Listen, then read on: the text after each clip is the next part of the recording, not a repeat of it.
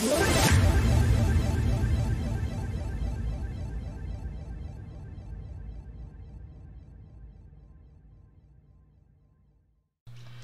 ciao a tutti ragazzi, eccoci qua per questo nuovo video, oggi un video che non era in programma ma visto che mi sono arrivate delle immagini molto interessanti vi, vi propongo appunto quello che mi è arrivato di questa moto qua che è una moto che sembrerebbe camuffata sembrerebbe una Guzzi, una moto Guzzi un po' più sportiva del solito eh, da come eh, la vedo mi sembrerebbe una V7 o una V9 ma non vorrei dire castronerie e quindi vi faccio partire un po' questi video e devo ringraziare Alessandro da Bassano per appunto queste immagini che mi sono arrivate.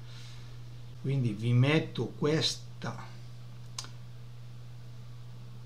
questo video ragazzi di questa moto che è stata vista sinceramente non so dove però dovrebbe essere vicino Bassano. Quindi e sembrerebbe appunto una, una V7 un V7 però un po' più sportivo. Ok. Un'altra immagine con la moto in movimento. Un altro video con la moto in movimento eccolo qua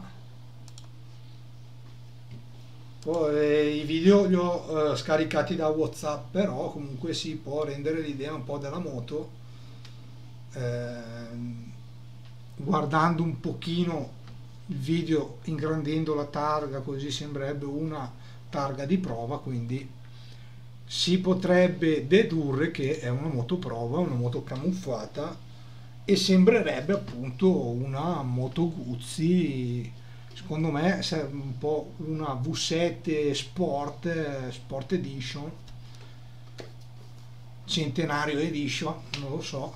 Quindi ragazzi altro motivo per seguire ECMA e video che farò su ECMA perché andremo a ECMA per, per per avere novità, per vedere tutte le novità e una sarà anche questa che comunque Moto Guzzi ci sta nascondendo perché eh, abbiamo sentito parlare della V100, V1000, la nuova diciamo crossover. Abbiamo sentito parlare di tante novità ma di questa moto non abbiamo mai sentito parlare. Quindi moto che comunque a mio avviso interessante ultimamente Moto Guzzi sta centrando davvero il segno con, ehm, con, sue, con, i suoi nuovi modelli. Facciamo vediamo un po' la V85 TT che comunque sta davvero avendo tanto successo quindi a livello italiano ma anche all'estero comunque vedo che va molto. E quindi aspettiamo un po' novità da, da casa Guzzi e niente ditemi un po' qua voi nei commenti cosa ne pensate. A mio avviso sarà una moto molto interessante. Chiuderei qua il video ringraziando ancora Alessandro da Bassano e il nostro amico Diego che mi ha appunto girato eh, questi video. Grazie ancora. Se ragazzi avete eh, dei video del genere, de, delle foto di moto camuffate, moto spia, mandatemeli perché io ve li, ve li metto sul canale subito ragazzi. Grazie ancora e alla prossima. Ciao ciao!